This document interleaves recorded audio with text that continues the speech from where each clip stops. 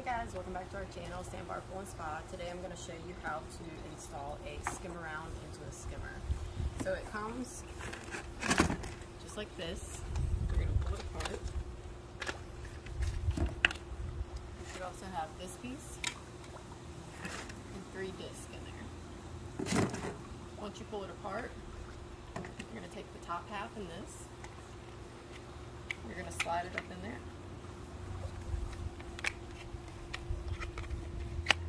Kind of tricky how to get it in there.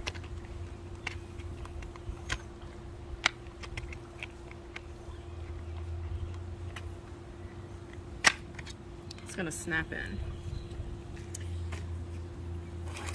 These discs are going to be for the different types of sizes for your skimmer. So we've already installed one of these on these, this pool in a second skimmer, so we know that the B is the right size for it. And we're going to take it and slide it on.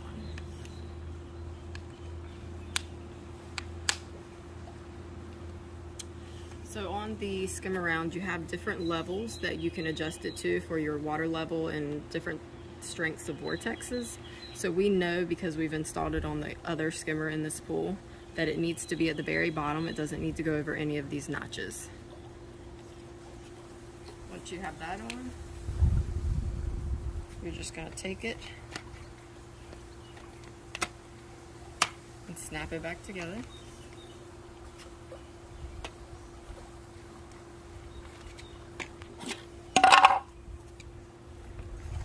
Remove your old skimmer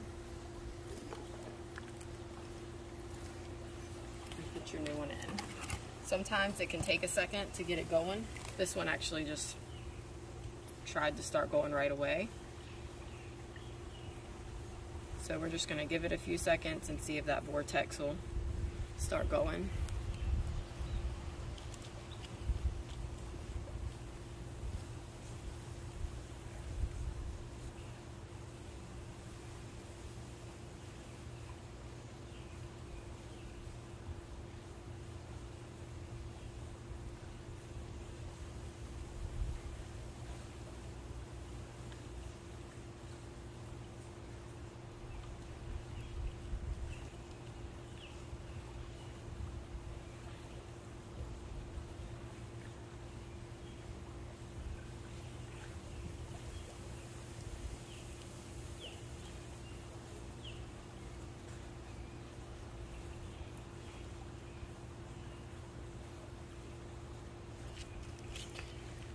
Gonna help it along a little.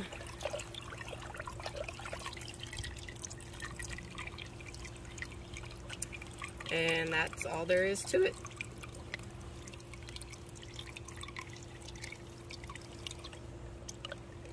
It's much better than it was with the regular skimmer basket that was in there.